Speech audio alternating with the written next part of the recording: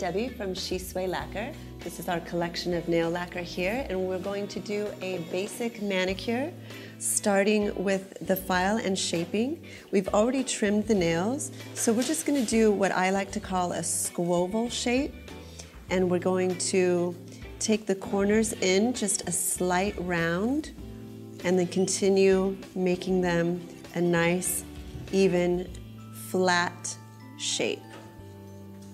Taking the corners in a little bit into your flat shape makes them a little softer, so they're not completely oval, but they're not a harsh square. So after we've filed and shaped the nails, then we're gonna go through with this little soft buffer. I like to, um, I like it, it's like exfoliating the nail plate, like you exfoliate your skin, you're exfoliating the nail. So it just gets any residue of staining from a dark color that you might have worn, and it smooths out any ridges that might be on the nail. So after you buff all the nails, get the ridges out and they're nice and clean, I like to do a spritz of water and then apply cuticle softener.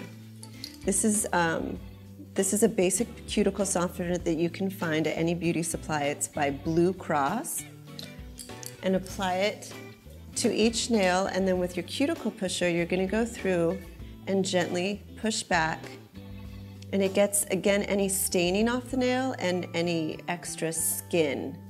So the more you get off this way, the less you cut. Um, when you nip your cuticles, you really don't want to be cutting too much off. So after you push back all the cuticle, do a little wipe of the nail plate just to get any residue off, and then we're gonna go through and just any loose skin that came up, we're going to just take right off with our nippers. We don't cut the cuticles off completely, we're just getting any loose bits.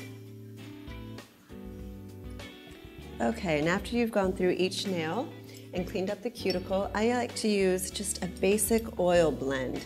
This is when I use my, I make myself, it's a combination of olive oil and almond oil. It's really hydrating to the skin. And rubbing that into your cuticles in the morning, at night, anytime, even when you're cooking in the kitchen, it's a good time to do it. So after you've polished and moisturized your nails, you want to clean the nail bed. Nail polish does not stick to any oil or residue on the nail.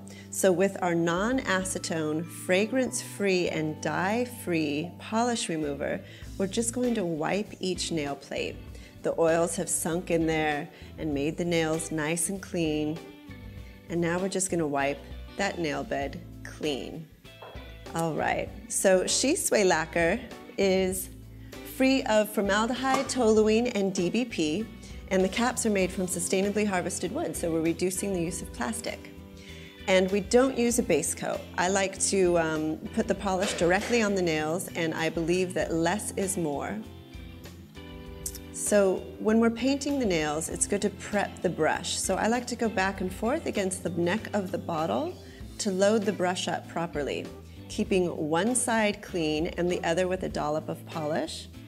You can apply and push towards the cuticle and just pull out. So really, instead of putting your brush entirely back in the bottle, you can pull the lacquer just from around the neck. See? All right, so we've done two coats of polish, of color, on both hands, and now we are going back in with our top coat. This is the SheSwai top coat.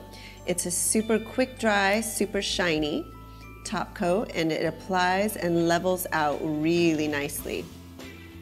So if there were any little imperfections in your polish job, a nice top coat like this will sort of level it out so you can't really see it. And last but not least, our thumbnail. And then you have a polished to perfection SheSwai manicure. Mm, I love it.